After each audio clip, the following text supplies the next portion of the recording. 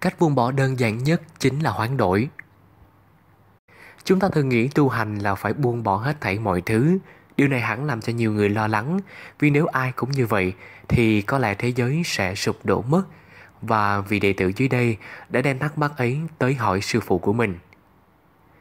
Thưa thầy, đạo Phật khuyên người ta phải buông bỏ, cái gì cũng buông, buông bỏ hết mọi thứ đúng không ạ? À? Không đúng. Vậy tại sao thường hay nói buông bỏ tất cả? Buông bỏ tất cả là để làm gì? Đúng thế, đệ tử cũng thấy rất e ngại, cảm giác Phật Pháp khiến người ta có cái nhìn theo xu hướng tiêu cực.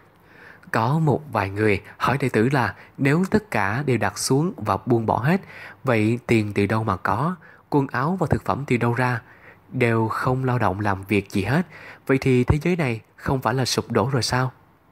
Sư phụ mới tiếp lời, mọi sự đều buông bỏ hết sẽ dẫn đến sụp đổ, cái gì cũng không buông bỏ thì cũng sụp đổ. Như vậy thì phải làm thế nào ạ? À? Sư phụ lại tiếp lời, thay thế và hoán đổi.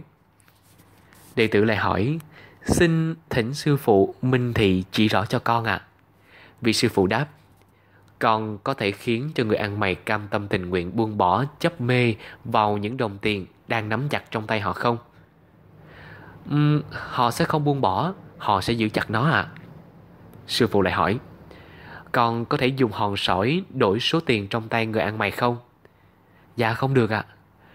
Tại sao vậy? Vì tiền thì đáng giá hơn. Vậy nếu dùng vàng để đổi thì sao? Dạ, thế thì được ạ. À. Sư phụ hỏi, tại sao? Đệ tử tiếp lời, vì vàng đáng giá hơn.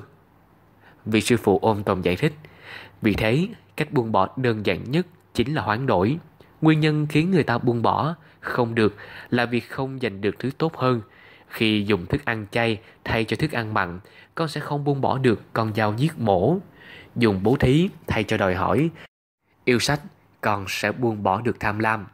Dùng tín ngưỡng thay cho trống rỗng, con sẽ buông bỏ được lạnh lẽo và cô đơn. Dùng trí tuệ thay thế cho ngu dốt, si mê thì con sẽ buông bỏ được chấp mê. Dùng chính niệm thay cho tạp niệm, con sẽ buông bỏ được vọng niệm.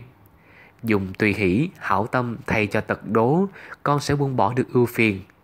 Dùng nhẫn nhục thay cho oán giận, báo oán, con sẽ buông bỏ được sân hận, hận thù. Dùng từ ái thay cho tham ái, con sẽ buông bỏ được tâm bệnh.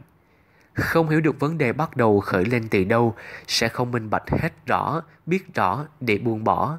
Muốn buông bỏ được gì đó, đầu tiên cần hiểu được là nó bắt đầu khởi lên từ đâu. Tu hành không phải là buông bỏ, mà là để hiểu được lẽ hoán đổi.